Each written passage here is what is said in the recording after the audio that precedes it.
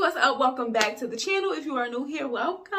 Hey girl. So today we're gonna be doing uh like clip-in install and then some wand curls or whatever. The last time i did this i it was a short so it was only a minute long. Um but this one is like a full video and we are doing a little side part action because the last time we did it it was a middle part. So anyways let's get into it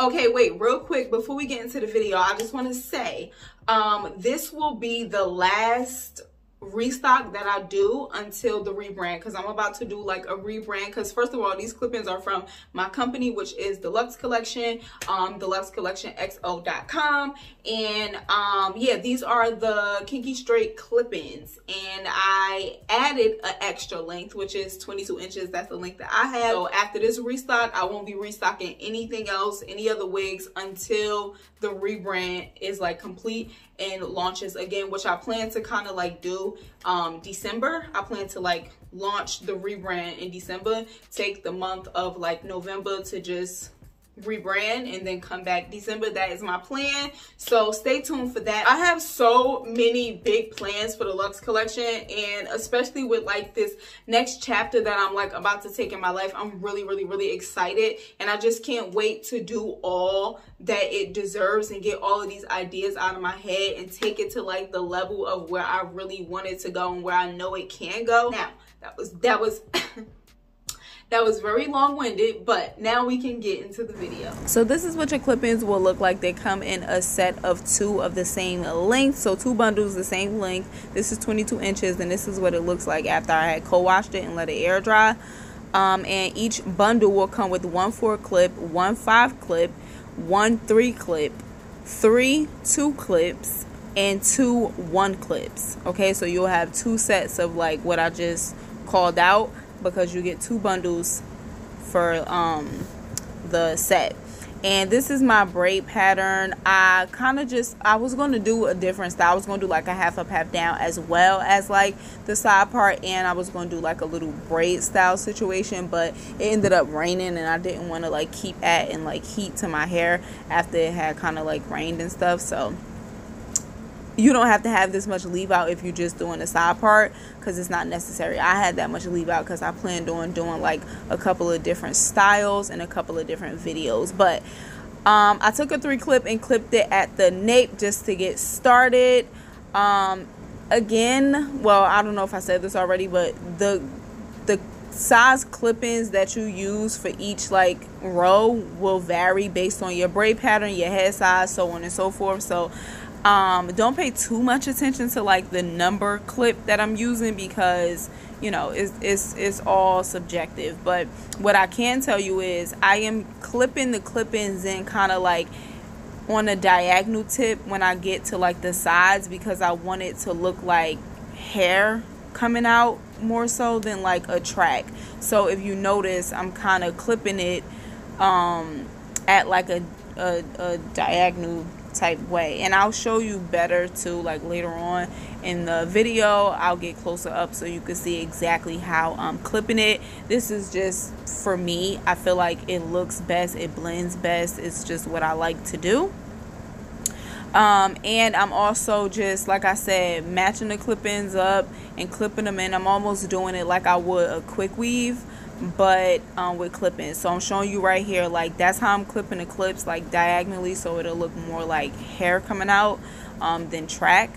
But yeah this is what we have so far um, and I'm really excited for the 22 inch edition because I have a 16 inch set I have an 18 inch set and I have a now a 22 inch set.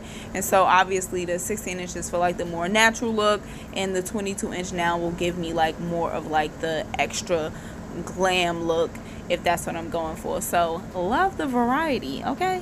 Um, but yeah like I said I'm really just clipping these in like I would a quick weave. Like this is how I used to like do my quick weaves. I don't know if you've ever done a quick weave, but like like you know the half cap type quick weaves. I used to do them in high school, and I used to literally wear it like with headbands, so it was almost like a quick weave headband wig. um, but yeah, so that's how I'm doing it, just because I feel like it looks best that way and you could get like a nice fullness without it looking too bulky like that I feel. So now I'm just going to take my hair and cover up the track so it's blended and seamless and all of that stuff. And I forgot to mention I did run the flat iron through the clip-ins one time on low heat just to get some of the crinkles out just a little bit. Um, so I was just trying to figure out which way I was going to do my part. And now I'm gonna clip the clip-ins in like to blend it with my hair um, and I'm using all two clips and then I think I added a one clip. But again I'm doing it on a diagonal tip because I think like I said it just blends better to me. So as you can see I'm doing like kind of a diagonal part and then clipping a clip in like that. And I think it blended really really nicely. And as you can see so far so good. And so yeah now I'm using a one clip just because we was getting closer to the top and this is what we have so far. And then we go on one curl one curl one curl one curl hey okay so this this looks cute like this honestly. Like this looks cute like this. But I want to do some wand curls. My hair is very, very dusty brown and the clip-ins are kind of like a brown black, but I feel like it's still blended good. If you wanted to rock this just like this, you could in a little pony or whatever, but I am going to throw some wand curls in it and I'll just speed that part up and let you vibe out to some tunes.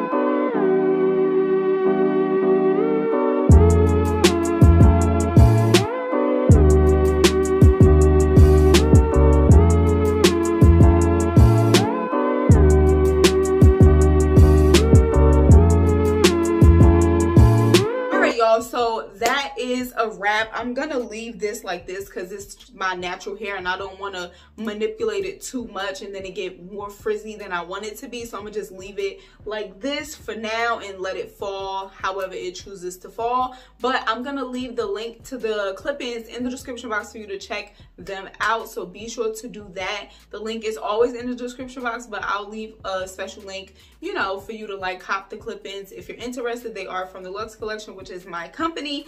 Um, and yeah, give the video a thumbs up if you enjoyed it. Subscribe if you're not yet subscribed. Like I said, drop down in the comments and let me know what you thought of the video. And I'll catch you on my next one. Enjoy the rest of your week, your weekend, whatever it may be. Bye.